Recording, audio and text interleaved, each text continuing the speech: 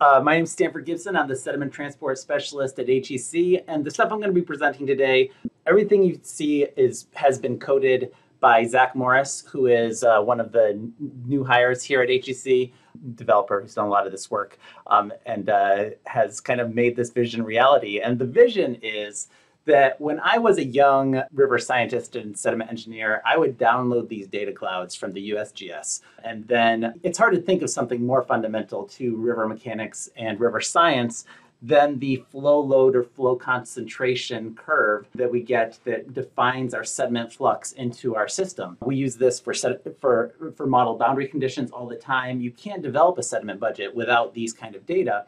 And so we're using these all the time. But if you are familiar with these data, you, you'll go to the USGS and you'll download these, and it's uh, we like we call it a data cloud for a reason because it's it's hard to make sense of them. There's usually an order of magnitude of, of scatter. And as a, I, rem- I remember as a young new en- engineer in the Corps, I just thought, what on earth should I do with these things? And so, you know, the, everyone's first impulse is to go to Excel, download it, right click, and fit a power function through it and be done. And that's um, that's fine. That's a good start. But there are actually a number of things that are wrong with that. There are a number of things that you need to do to analyze these data before you use them for a model or a boundary condition. Things that no one ever, t- I thought about naming this talk, the five things no one ever told me about sediment rating curve data. But what I proposed to, to MRGMP is to develop a tool that would actually walk new engineers through the best practices. So no one actually has to tell them about this because the tool will walk them through these best practices, essentially the things I've learned in the last 20 years that I should have been doing all along. And that will also make maybe not new engineers like myself and some of the folks I see on this line, it'll just kind of make this all of these analyses easier, more visual, and just make everything better. So these are the seven common issues that I've seen that people encounter with sediment rating curves. Things that we need to do compensatory analysis for. You, it's just you just can't just right click and put a power function through your data. You actually have to do some other analysis, some other statistics. For some of these, we developed new statistics that are going to help. For some of these, we just applied the the best practice industry standard. And so I'm going to walk through these. We're going to move pretty quickly, and uh, these are all things that now the tool does. We developed a tool called the rating curve analysis tool. Right now, it's a standalone tool. It's going to it's going to live in RAS as well. What I'll do is I'll, I'll introduce the common issue, I'll explain the best practice, and then I'll demo how to deal with it in the tool. Okay, so let's do this. First, the first one I, I put this in just because dealing with the USGS data format is can be a nightmare. Um, the only ways to deal with the best practice is very careful Excel work, or now they've written an R importer, which is what I tend to do. But um, I have seen some very masterful Excel spreadsheets for how to deal with these data. As, sediment transport data are water quality data, and so they come up in in this big water quality mess. You can refine your water your search a little bit with the USGS data. Incidentally, this is the worst slide ever um, because it's uh, by counterexample. But the idea is that these data come in. The flow can be daily or, or instantaneous, or a mix and match of both. The sediment can come in as concentration and load, and there are like eight different ways that the USGS can specify gradation. And it can be sieve or hydrometer, and those can overlap, and then what you do. And so a lot of people have written protocol to deal with this, but just getting these data into Excel without making major errors is kind of the first problem. And so the first thing we did is we just wrote an import. If you download the water quality data for any gauge, and you don't have to be precious about it, you don't have to put in the the the, the numbers you want. You can just download the whole giant QW file we will import that and put it in the format that you want. And so, for example, this data set, there are 3,227 instantaneous flows and 121 daily flows. Yeah, use them both. In this case, there are 2,000 loads and almost 4,000 concentrations, and they don't necessarily overlap. And so you make the choice hey, use the load, but if there's no load and concentration, convert it to a load for me, or vice versa. And then uh, if there's both sediment and sieve diameter and fall diameter, you can choose which one takes priority because it's pretty unhelpful when you import data and there are two diameter, two um, percentages for a given diameter and uh, they're not the same. And so you, have, you make that decision. And so we'll import for you. Let me actually just introduce you to the tool. This is the sediment data analysis tool. This is what it looks like right now. Um, for those of you who are familiar with the RipRap calculator, uh, we went through and gave it a brand new look and feel. So it has a, the RAS 7.0 look and feel. By the time this comes out in RAS 6.2, it will have that that, that complete redo, the new look and feel. So this will show you the functionality, but not necessarily the look and feel.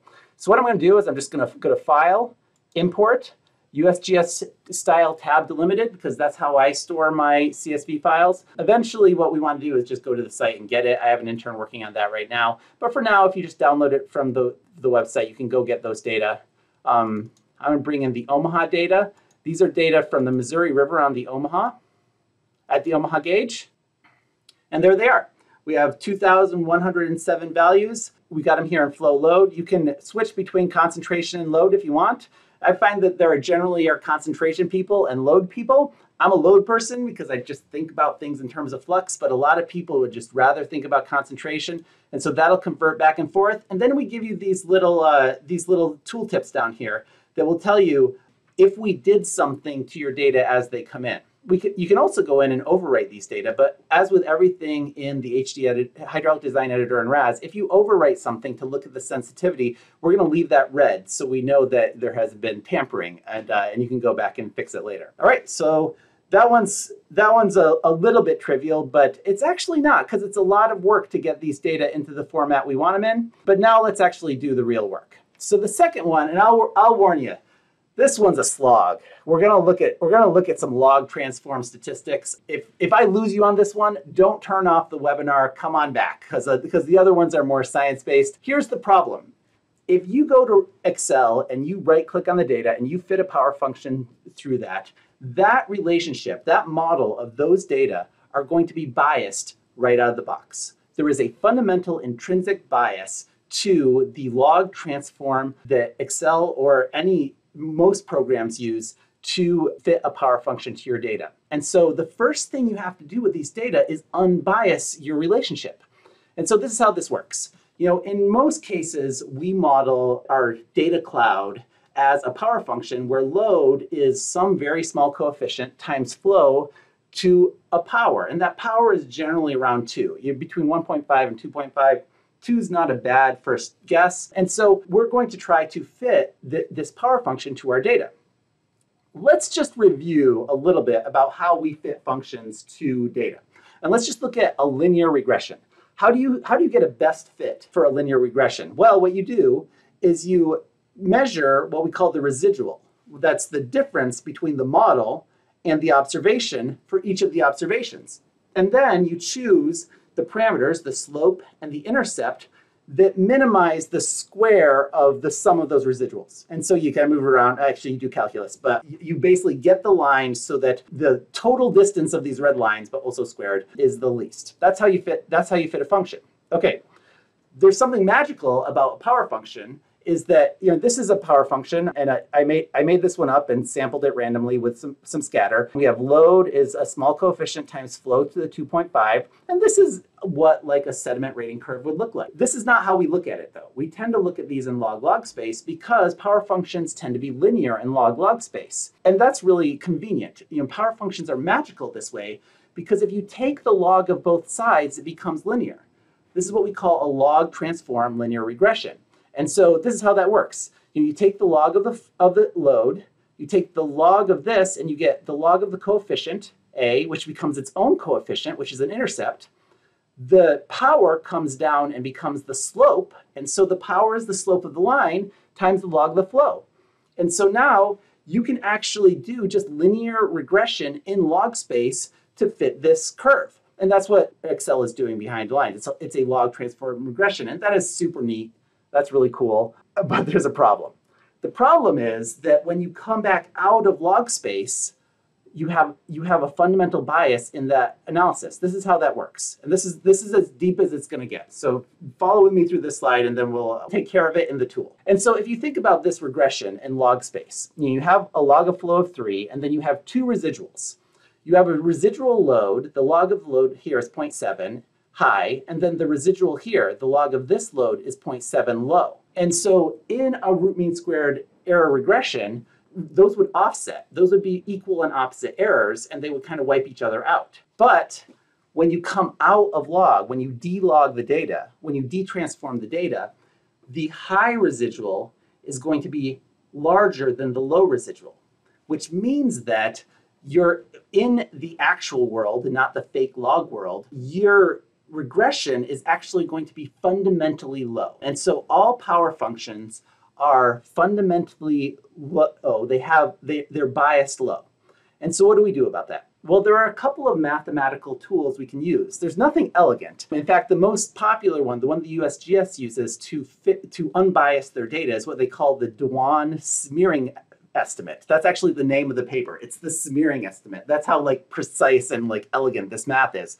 But the idea here is they just go look at all the residuals and they back out the difference and they they they compute the bias by just backing it out from the residuals. And so this is the Nam Ou um, suspended sediment curve in uh, from some work we did in Lau. And you can see that the blue line is the biased regression that we got out of Excel. And then we ran the Duan correction and we found the, the, we found that there was about a 32% bias. And so what the new equation comes out to be is your sediment load is the coefficient times the flow raised to the power with this Duan coefficient there. And so if it's 32% high, this coefficient comes out to be 1.32. It increases your result. Okay, so back to the tool. So here is our data analysis tool. And what you'll see here is we have our bias correction factors. And we have two of them. We have Duan, which is what the USGS uses, and we have Ferguson, which is what the Corps uses. And by the Corps, I mean Ron Copeland, because Ron Copeland was kind of the first and maybe only one to do this in the Corps for many years. And so, and Ron used Ferguson. I talked to Ron about this recently. He's actually moved away from this in linear regression and likes to do nonlinear regression of concentration, which is another option, which is something that we also add. But what you'll notice is that you know Duan, the Duan correction factor is 1.178, which means that basically it's saying, hey, we need to increase your loads by 17.8% in order to unbias them, not because of anything scientific, just because of the way the regression works. Or Ferguson, if you click on that, it's 1.21. Now, did you do anything as the user? No, you didn't. This is automatic. You can go in and turn on the biased regression, that's now this gray line, but we're not even going to show you that by default. By default, we are going to give you the unbiased regression. We're just going to do that out of the box. Um, you're not even going to see it happen, but, but we will show you what the coefficients are. Okay, so the first thing the tool does, and maybe the most important thing, because this math isn't hard, but it's tedious. And so we all have spreadsheets that do this, or those of us who have spreadsheets that do this, they can have bugs, they can have errors. And so to kind of have a standardized tool that does this calculation for you so that, you know, if you're a 25 year old engineer, you don't have to develop your own spreadsheet or learn someone else's, but that can actually go through this. There's, there's just huge value in this. There, a little story about the correction factor. I obviously, I did not know about this for the first like 10 years of my career. I was just doing power functions through rating curves. And then I learned about this, and I thought, uh oh, I've done a lot of sediment transport studies. And so I went back and looked at one of my first sediment transport studies. And in order to get that study, that model to calibrate, I had increased the flow load curve by 20%. And so I went in and I computed the Duan correction factor, 20%. If I had just done it right, out of the, the model would have calibrated out of the box. I wouldn't have had to add any swag. Okay, so, all right, away from the statistics towards the science. The second thing that we, we absolutely have to account for in these rating curves is non-stationarity. You know, most of you have seen some of these classic dam curves where you know, you've got sediment load before and after the dam, but there's also other things going on. You need to make sure that a lot of times we just plot the flows and loads irrespective to time. We just make a data cloud and we regress it without thinking, hold on, you know, if I'm building a historic model and trying to calibrate, then maybe I should not be using the m- most recent data, or if I'm trying to project into the future, maybe I shouldn't be using the oldest data to develop my rating curve. And so, uh, Warrick 2015, I think, is one of the best recent treatments of this. Warrick looked at a number of rating curves that weren't actually rating curves, but a series of temporal rating curves that shifted over time. This, this is good work. This is a, a rating curve that Calvin Creech and I did on the Madeira River in Brazil. And uh, these are the like six years of flow load data after the dam went in on, the Madeira in, the, in Brazil. And what you can see is that there's just a steady rotation. Just in the six, I mean, work is looking at decades, but just in the six years after this dam went in, the flow load curve rotated down. And so if I'm going to predict the future of the Madeira, which I was doing, I can't use these historic data. I have to use the data that the, the data that reflect the future. But if I'm trying to reproduce the past, I can't use the current data. And so what the tool do, does is it provides some kind of robust tools to help you visualize and quantify the stationarity. Okay, so back to the tool. So I'm going back to my Omaha data, and uh, the stationarity analysis is here. And so we're going to do a lot more work on this. Uh, we're coming to the end of the first year of a two-year study. So in the first year, we produced what we call a minimum viable product. That's software speak for uh, you got to get something that's ready to use so users can use it and give it give you feedback. So we've, we've done that. We've got a minimum viable product is what we're showing. In the next year, we've got a couple other statistical analyses we want to add, and we're going to you know roll it out with users manuals and things like that. And so what we have here is, is just a, a, a time bar. And you can run the time bar back and forth and visualize the stationarity of the data. And so what you can see here is that if we just kind of choose something in the late 80s, early 90s, the purple data is the data after it, the yellow data are the data before it, and you can see that there is a, a strong non-stationarity in, in these data. Essentially, the earlier data has a steeper curve, much higher loads than the later data. And you know, anytime you go from higher loads to lower loads, you suspect dams.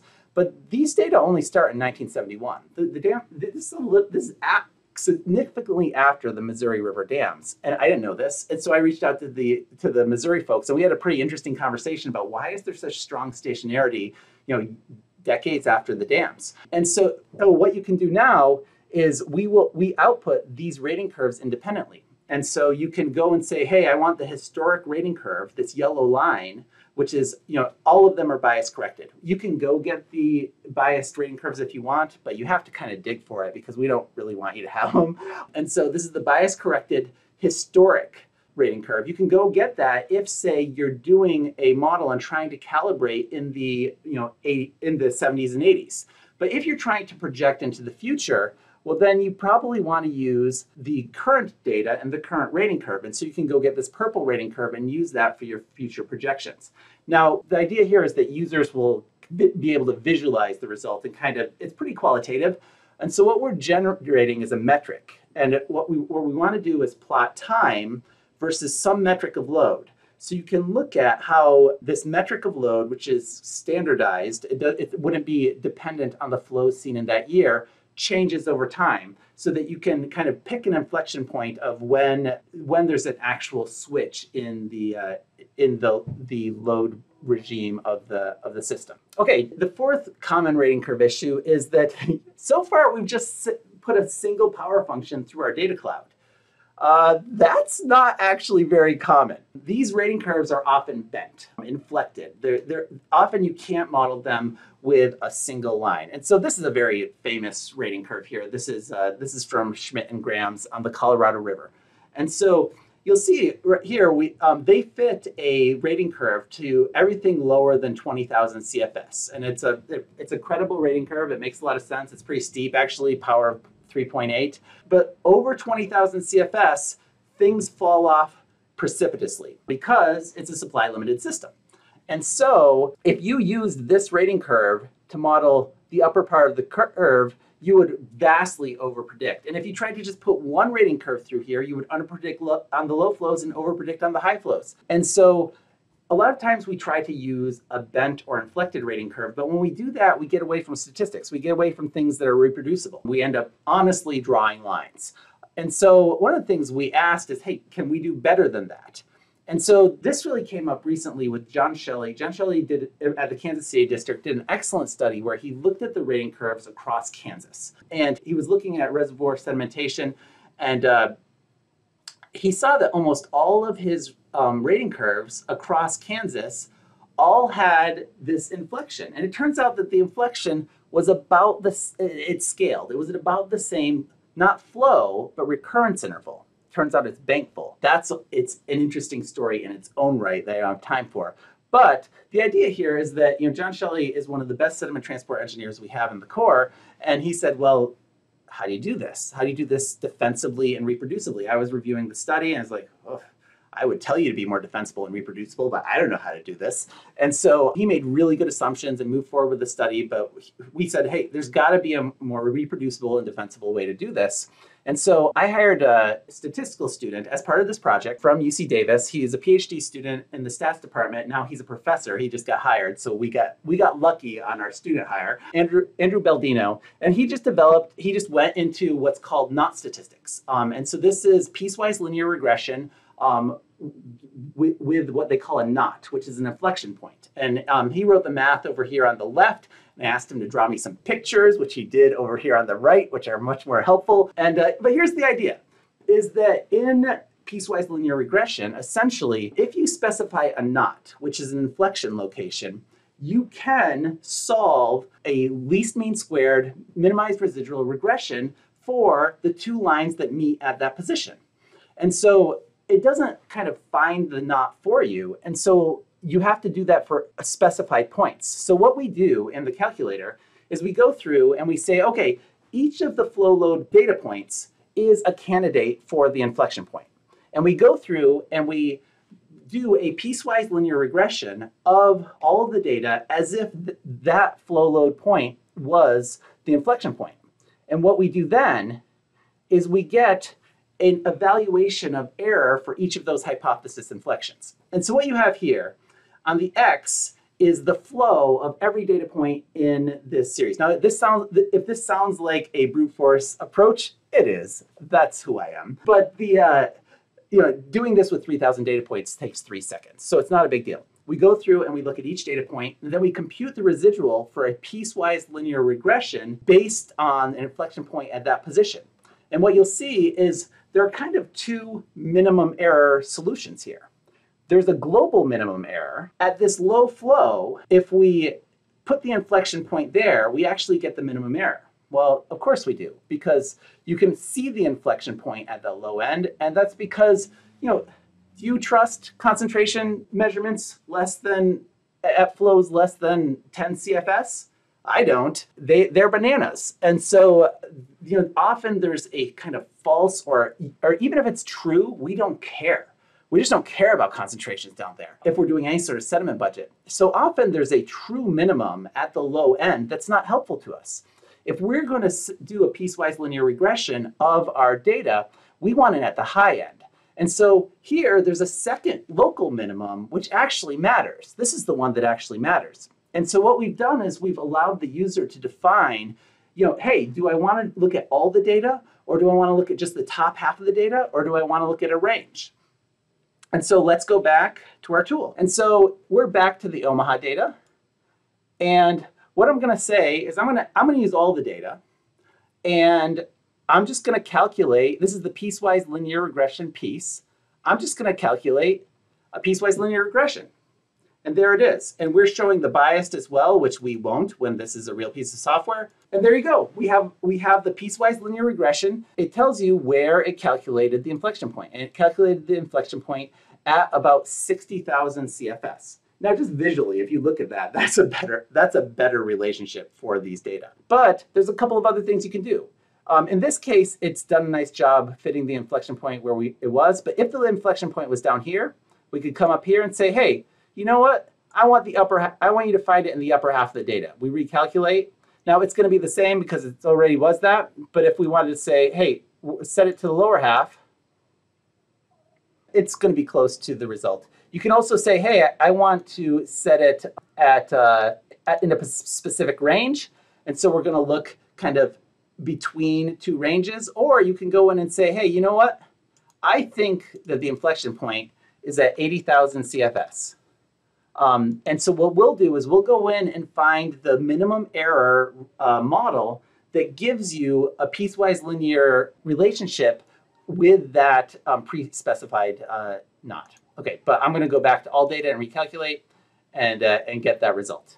Okay, the fifth thing that I think um, is problematic, it's really problematic until you realize it's a problem and then it's just tedious. Although it ends up being, th this actually ends up being much harder on the other side is that you need to distinguish like close proximity observations from replicates. A lot of time these data, you just get all of the measurements. And so the question is, are these independent observations that I can, that satisfy the regression independence uh, criteria, or are they replicates? Are they mixed and matched? And so the telltale sign that you're dealing with potential autocorrelation or replicates is you get these vertical striations in your data. I was uh, I was working on a study once, and this is the USGS data I got. And uh, I went and the USGS said, hey, you have 63 samples. And I was like, yes, I can develop a rating curve with 63 samples. Um, and then I saw this and I was like, oh, I might have seven because these are all collected on the same day. These are all collected on the same day. These samples were all collected over a three day period. Can I use those all as independent observations? That's an open question, but I definitely can't use these as independent observa observations. These are replicates. And so if you use your replicates as observations, then you're going to overweight the value of the observation on that day. And so you need to collapse your replicates without removing observations that are independent but just close in time. This is particularly compelling on the Mississippi gauges. Now, there are many people on this call who are going to under- know why this is and be able to explain this a lot better than I, I am. But here's the St. Louis gauge. And you can see that uh, the 19 1959 to 1984 samples, these are single samples. These show up as single samples. But after uh, 2010, each day they collected at like 10 to 15 replicates. And so if you know a new engineer downloads these data and fits a power function through them, it's going to way overweight the modern samples because they're reported with replicates, where the, the other ones don't have that kind of power because they're single observations. And so, you know, the first thing that you have to do is determine um, replicates from is determine which replicates go together. Um, it can be a pretty tedious exercise, and so we have added that capability to the tool. And so I'm going to actually leave Omaha now. Nothing against Omaha, surprising city, underrated city, and I'm going to go to St. Louis, another great city.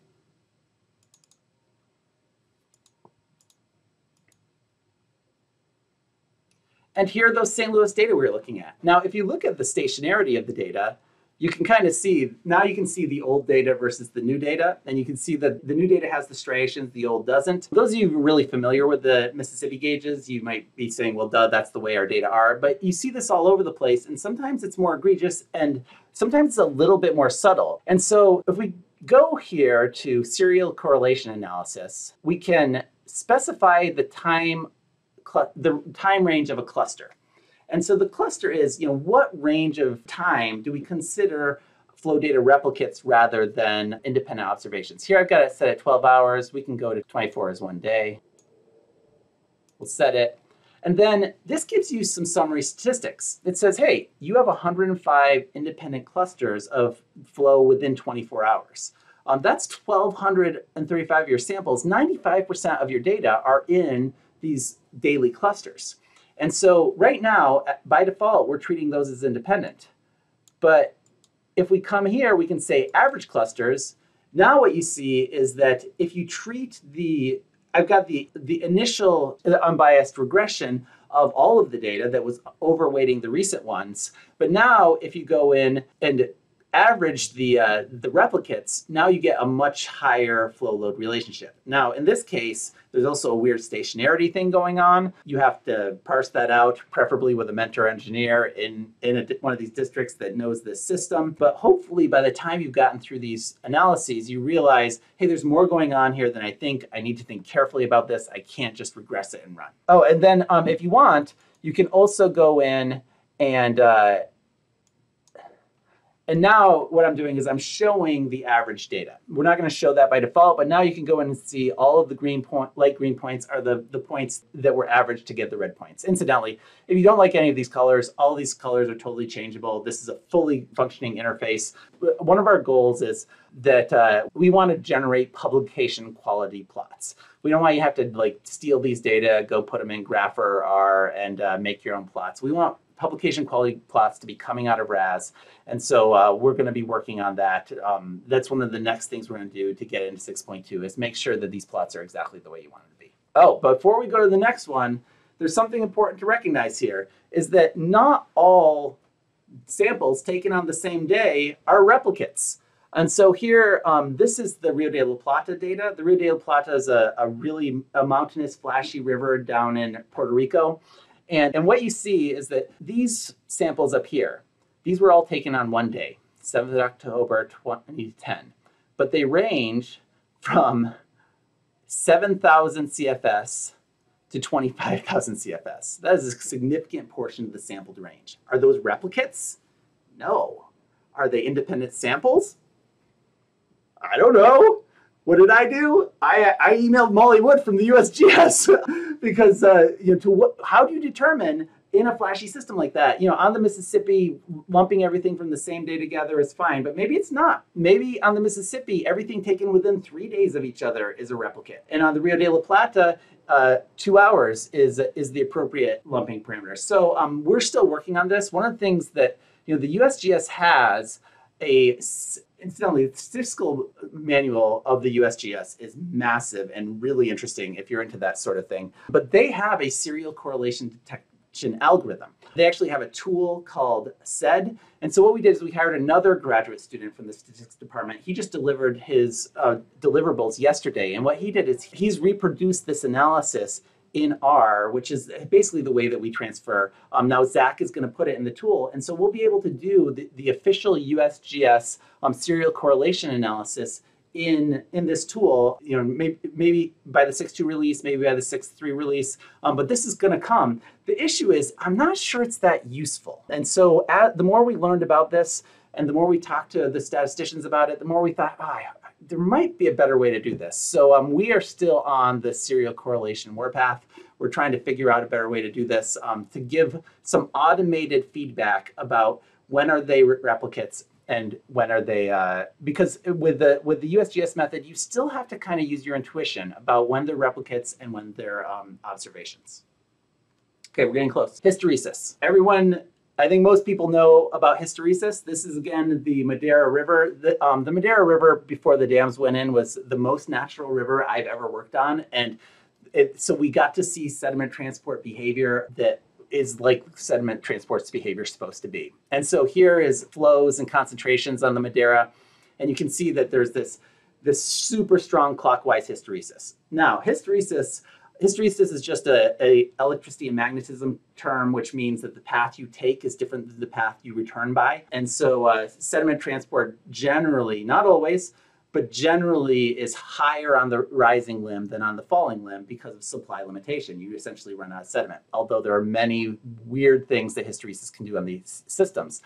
And so, uh, you know, this is from John Shelley's in my paper on the Missouri River, more hysteresis. And so hysteresis complicates your, I'm going to go back to Omaha here.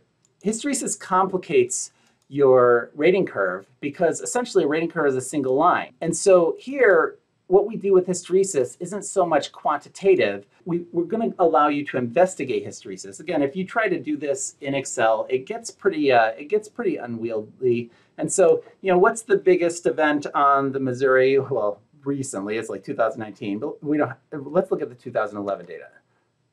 And so here is 2011 on the Missouri, and this is the big flood. And you know, I, I chose this one because I know that essentially the Missouri ran out of sediment in 2011. It just ran that this was not just a large flow; it was a large, long flow. And so the the fine sediment dropped. It, you got coarsening on the bed.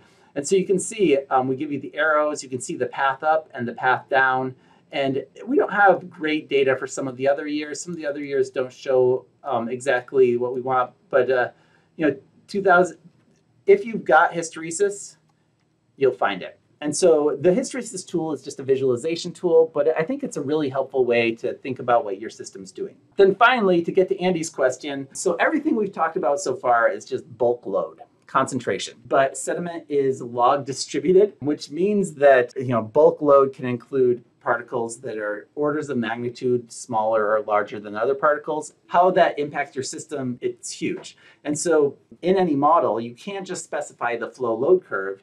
You also have to specify the gradations associated with that flow load curve, the gradational breakdown. And uh, if you're doing kind of a sound sediment budget, at least you're going to have to do a fine coarse split on those to kind of understand wash load versus bed material load.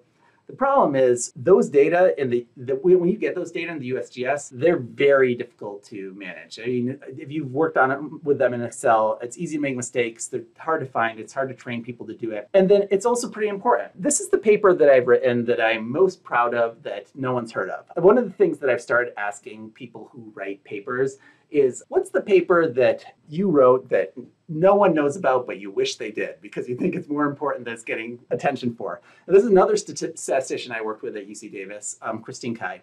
And uh, we looked at um, 78 gauges and looked at how gradation changes as a function of flow. And it turns out that rivers can fine or coarsen as a function of flow. And so over on the left, the Dolores River as flow increases, the, the load gets coarser. Over on the right, the Eel River, as flow increases, uh, load gets finer. And so it, this is not trivial. It, it's, not, it's not even like directionally or monotonically trivial. And sometimes it's not monotonic, sometimes it rises and falls. It's not easy. And so we've added a, a, uh, a function to the tool where um, it automatically downloads these data. And so if I go back, I'm just going to re-import uh, Omaha. You can save these as sessions. Um, I'm just not doing it because I want you to kind of see the process. But if you go to flux gradation, so it turns out that uh, the Omaha data has a lot of gradational information. And so up here we have all of the flows ordered in size from lowest to highest. We have all of the loads. And then we have the percentages associated with each of the grain sizes. Uh, if any of you have ever gone and gotten these data from the USGS uh, uh, CSV files, the, you know that uh, uh, we just did a lot of work for you. So just the work alone and the mistakes that are made um, alone, uh, it's useful. But then we report the D50 and the D85 if it can be reported with the data provided. And then we will show it in a monochromatic curve. Now this has too many for the monochromatic visualization to help that much. There are only like 20 or 30, which is often the case. Then you know, the, showing it from light to dark will, will really show you the, the, the transition. But the other thing we do is we plot the D85. So here's flow versus D85. You can do it in log or linear scale.